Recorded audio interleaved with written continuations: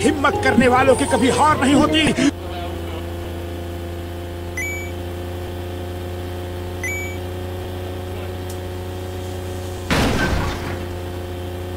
हिम्मत करने वालों की कभी हार नहीं होती।